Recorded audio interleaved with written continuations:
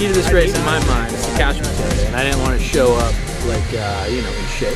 So I did as much drinking as possible, and the key is to drink while you ride. Forest roads are for drinking beers. Downhills, you put the beer in your pack. Safety first, kids. Safety first.